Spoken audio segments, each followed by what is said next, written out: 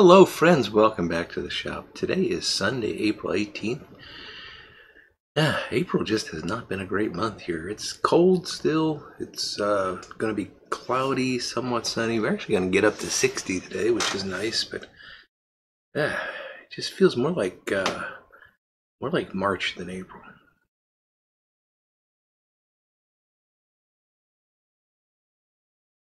Smoking a uh, this is my Lane Crown Achievement pipe, and I've got some LJ Peretti Cuban mixture in it for a couple of reasons.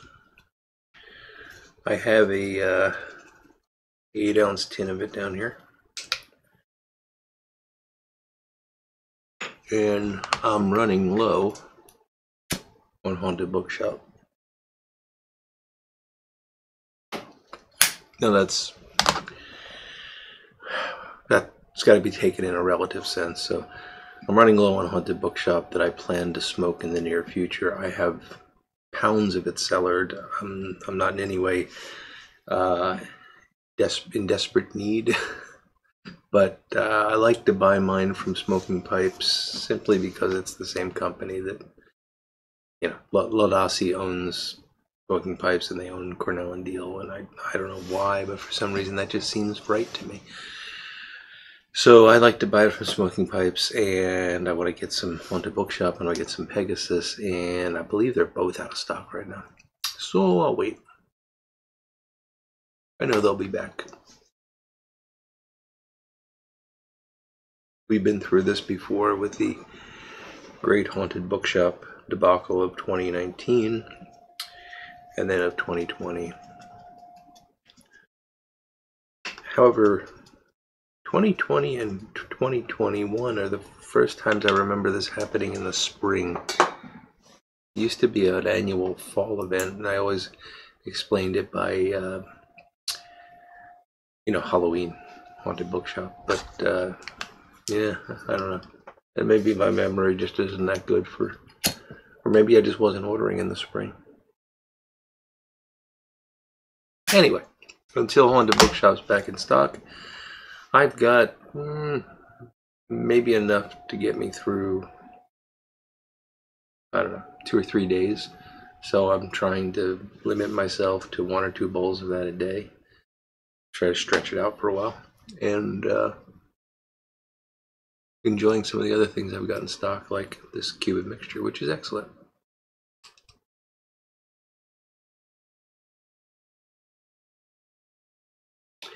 I, I learned something this morning. I, I brought this. I chose this pipe. Mouth hasn't quite caught up with me yet. I chose this pipe uh, specifically because it needed to be reamed. Now it wasn't terrible. You know, I could still get my finger down in it, um, but it was a little embarrassing. You know, a guy that repairs pipes and says don't let your cake grow too much. It it was a lot of cake, so I decided to ream it before I smoked it this morning, and that's why it came down to the shop with me, and that's why I have it right now.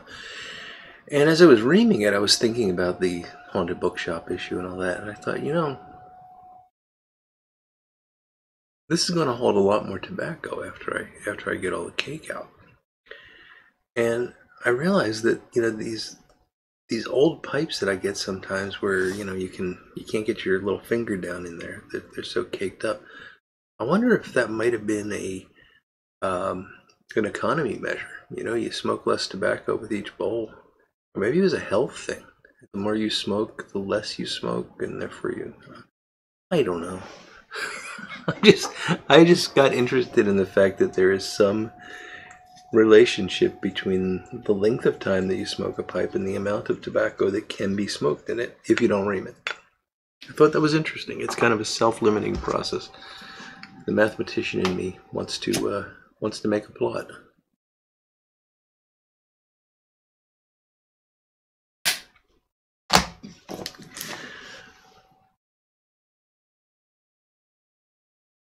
An economist would probably have some fun with that too.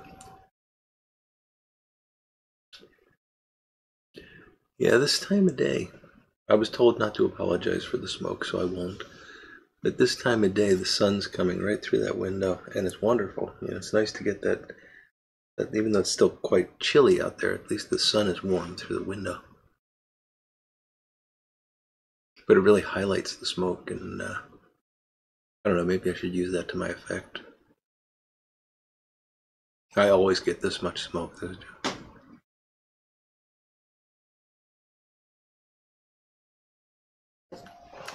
So, you probably noticed uh, I put up a video on Friday that didn't last very long, and then it came back. Um, and I, I, put up a post about this, but I wanted to say it in a video too. Uh, although probably not as pointedly as I said it in the post, because I don't want this video to get taken down. um, no, there was nothing wrong with the video. You know, I, I was talking about hot button issues for sure, and things that are currently in the media for sure. Um, but what I said was actually consistent with what a lot of medical experts were saying, and you know, so they they took it down and they said that it uh, violated community guidelines, and they specifically called out misinformation regarding. Um,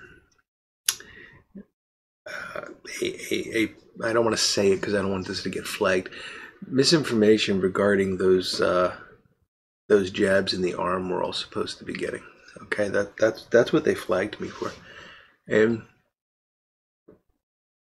it's funny because I think if anything, I was promoting those jabs more than trying to say anything negative about them in the video. So they they took it down. I appealed it, and in appealing it, I, I cited a uh, New York Times article that pretty much said the same thing that I was saying and said that, you know, this is in line with the thoughts of many medical experts, both in the US and in Europe. And I'm quoting from the article. And, you know, YouTube, to their credit, within six hours sent me a, you know, a, a form letter, but it was an apology, and uh, put the video back up. So, you know, I, I, I see I see that as a good thing in a sense. I, I appreciate that there's a process that you can go through and you can get to a point where um, everybody's on the same page. But I I can think of you know I was I was on a line there and I could have very easily veered just like a millimeter to one side and I would not have been able to get that appeal. And I don't think that's right. You know, I, I think I think diversity of opinion and, and and diversity of interpretation of what we believe is true is you know that's the way science works. You know that's how we move forward in science. We look at we look at something you know that, that apple fell from the tree and hit me in the head. Maybe that's because the apple really wanted to be close to me that's a hypothesis. Not true, but you but you but you think it and you and you say, okay, is that, is that what you know? You, you can design experiments around it. You can debate it with friends. You can you you can debate it publicly, and and you know you you come up with experiments to test, and then you test them. Well, maybe the apple was pulled to me by some force and then you start to think, well, maybe maybe I'm irrelevant because the apple would have hit the ground anyway. Maybe the apple was pulled to earth by some. So you you start to build a, a more and more accurate depiction of the way the world works until, of course, it doesn't anymore. And then you that that's when really interesting science happens. Uh, you know that your your model breaks, and that has to happen. So this idea that we've got this static truth that everyone is going to pay attention to, and there's some arbiter that can say, "Up, oh, nope, you crossed the line. You're not allowed to talk." That's crazy. That's not the way knowledge progresses. That's not the way a free society should conduct itself. So, that's all I'm going to say on it. And I appreciate the support that I got during that. You know, I got more emails and text messages about that being taken down than, than anything in, in recent memory. And uh, that was nice. You know, I it's nice to know that you guys are watching out for me. And frankly, I, I don't really like walking in that line. You know, I, I don't want this. hopefully you realize I, every once in a while I kind of go off the rails on a Wednesday, and, and that's more for my benefit than anything else. You know, it's it's therapy for me, and you guys can just ignore those. This was posted on Friday because of scheduling things, but anyway, you can ignore those uh, those rants if you want. Uh, but the rest of the time, I don't really like to talk about that kind of stuff because I got enough to talk about with pipes and tobaccos and all that good stuff.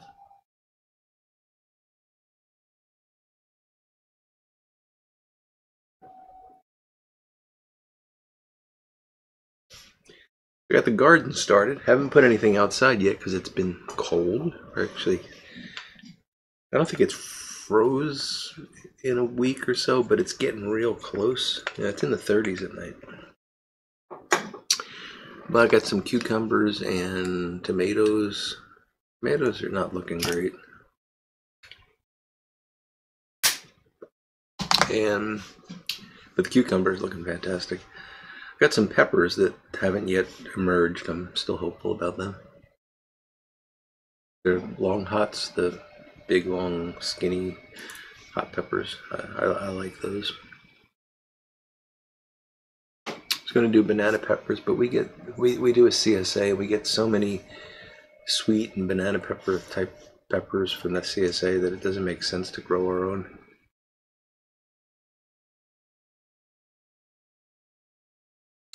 And we'll probably get some uh, some beans. I'll, I'll just buy those, uh, you know, as plants when it's time to put them in the ground.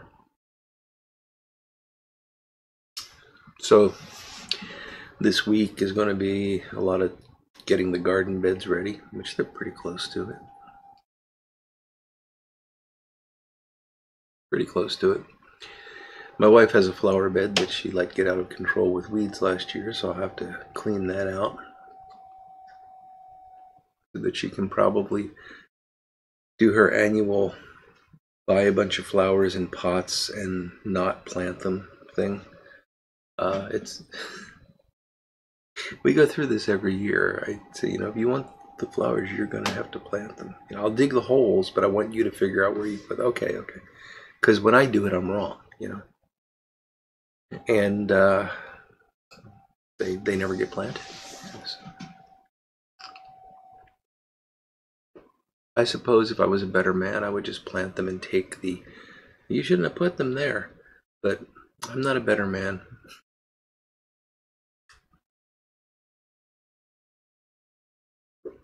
Mm. This Cuban mixture is, is is really good tobacco. Talked about it before.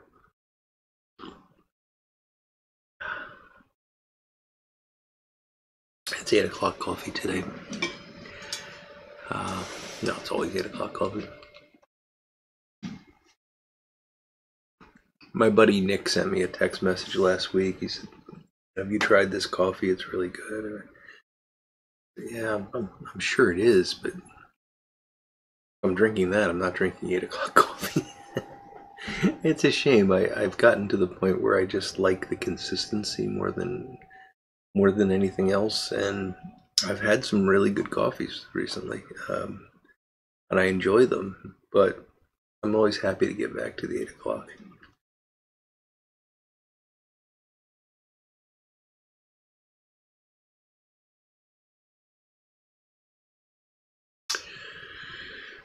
Well, folks, I've taken up enough of your Sunday.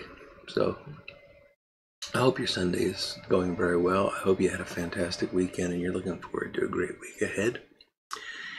And with that, I'm going to finish my pipe and coffee and uh, move on with my Sunday. So until we speak again, I look forward to talking to you all again very soon. Goodbye now.